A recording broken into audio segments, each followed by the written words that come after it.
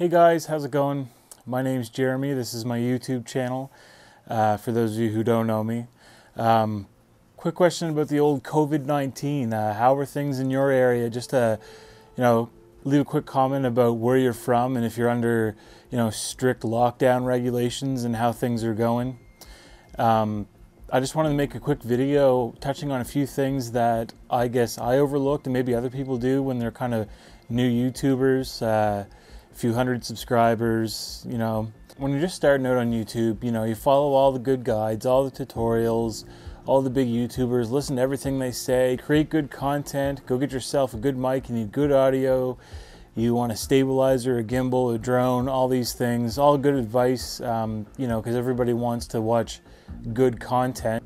Nobody wants to watch, you know, somebody stumbling around with a shaky camera and you don't know what you're looking at you can't tell what you're listening to. I get that. One thing I find that's overlooked and is essential to building your uh, your subscriber base, and it's kind of like a frame of mind almost. And if you consider your subscribers to be your friends and peers on YouTube, maybe you'll take a different approach.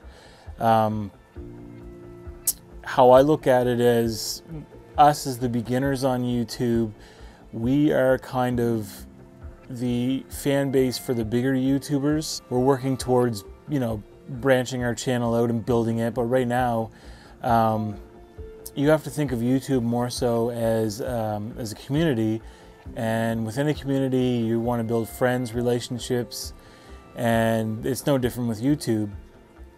And one of the mistakes I made when I first started, and uh, again, I'm not claiming to be this veteran. I have a small channel, but it's a social network, and you absolutely need to subscribe to other channels. You need to make friends, and you have to subscribe to other people's content. You have to watch their videos, not just click on it, like it, put a quick generic comment on and leave.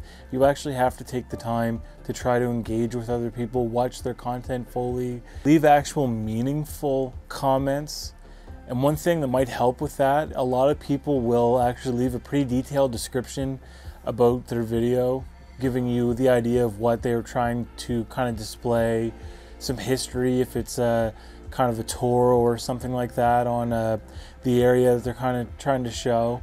So, you know, drop the little twirly thing, um, read the description, and watch their video and point out some, uh, you know, maybe even some friendly feedback on something.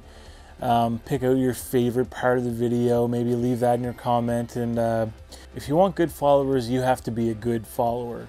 Um, so, another thing that took me a while to figure out is a lot of people will subscribe to your channel because a lot of people will subscribe to your channel because they in turn want you to subscribe back to them. Maybe they've pegged you as somebody with similar type of content that they're interested in, so they um, they kind of want to learn from you. They want you to uh, give them good feedback. But if you notice somebody subscribes to you, it's probably not out of the blue if you're a new YouTuber.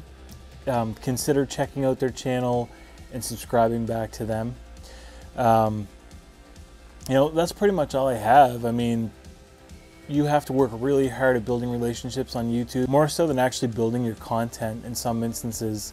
Um, so get on YouTube, watch as many of your friends' videos as you can, make new friends, be constantly trying to make new relationships on YouTube, and your channel will grow by subscribers. You get what you put in, honestly.